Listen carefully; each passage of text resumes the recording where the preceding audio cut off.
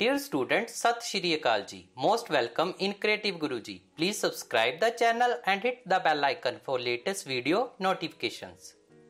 Science, class 10th, chapter 3, Metals and Non-Metals. Introduction There are 118 chemical elements known at present. On basis of their properties, all these elements can be broadly divided into two main groups metals and non-metals. A majority of non-elements are metals. All the metals are solid except mercury, which is a liquid metal. Think of some uses of metals and non-metals in your daily life. Positions of metals and non-metals in the periodic table. The metals are placed on the left hand side and in the center of periodic table. On the other hand, the non-metals are placed on the right hand side of the periodic table. This has been shown in figure. It may be noted that hydrogen is an exception because it is a non-metal but is placed on the left hand side of the periodic table. Metals and non-metals are separated from each other in the periodic table by a zigzag line. The element close to the zigzag line shows properties of both the metals and non-metals. They show some properties of metals and some properties of non-metals. These are called metalloids. The common example of metalloids are boron, silicon, germanium, arsenic, antimony, tellurium, and polonium. In general, the metallic character decreases on going from left to right side in the periodic table and non-metallic character increases on going from left to right side in the periodic table. Now move to the most important topic of the chapter general properties of metals and non-metals. Properties are of two types First one physical properties, second one chemical properties. Now question arise, what is the basic difference between physical and chemical properties? A physical property is a characteristics of a substance that can be observed or measured without changing the identity of the substance.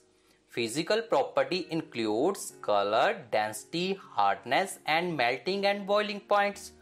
A chemical properties describes the ability of a substance to undergo a specific chemical change. First of all, we will discuss the physical properties of metals. Physical properties of metals. The important physical properties of metals are first one, metals are solids at room temperature. All metals are solid at room temperature except mercury mercury is a liquid at room temperature. Second one, metals are malleable. Metals are generally malleable. Malleability means that the metals can be beaten with a hammer into very thin sheets without breaking. Gold and silver are among the best malleable metals. Aluminium and copper are also highly malleable metals. Third one, metals are ductile. It means that metals can be drawn, stretched into wires. Gold and silver are the most ductile metals. Copper and aluminium are also very ductile and therefore these can be drawn into wires which are used in electrical wiring. Next property, metals are good conductors of heat and electricity. All metals are good conductors of heat. The conduction of heat is called thermal conductivity. Silver is the best conductor of heat. Copper and aluminium are also good conductor of heat and therefore they are used for making household utensils. Lead is the poorest conductor of heat mercury metal is also poor conductor of heat. Metals are also good conductors of electricity. The electrical and thermal conductivities of metals are due to the presence of free electrons in them. Among all the metals, silver is the best conductor electricity. Copper and aluminum are the next best conductor of electricity. Since silver is expensive, therefore copper and aluminum are commonly used for making electrical wires. Fifth property, metallic luster or metals are lustrous. Most of the metals having shining surface and they can be polished. The shining appearance of metals is also known as metallic luster. For example, gold, silver and copper metals have metallic luster. Sixth property, metals have high densities. Most of the metals are heavy and have high densities. For example, the density of mercury metal is very high. However, there are some metals have low densities. Densities of metals are generally proportional to their atomic masses. The smaller the size of metal atom, the smaller its density. Seventh property, metals are hard. Most of the metals are hard, but all metals are not equally hard. Metals like iron, copper, aluminum, etc. are quite hard.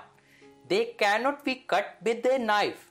Sodium and potassium are common exceptions which are soft and can be easily cut with a knife. Last physical properties of metals. Metals have high melting and boiling points. Most of the metals have high melting and boiling points. Now move to the physical properties of non-metals. First one, non-metals may be solid, liquid or gas at room temperature. Second property, non-metals are bad conductor of heat and electricity. Exception, graphite is a good conductor because of the presence of free electrons. Third property, non-metals are not lustrous and cannot be polished. Except graphite and iodine are lustrous non-metals. Fourth property, non-metals have low densities. Fifth property, non-metals are generally soft. Exception, diamond, an allotropic form of non-metal carbon. It is the hardest natural substance known. Sixth property, non-metals have generally low melting and boiling points.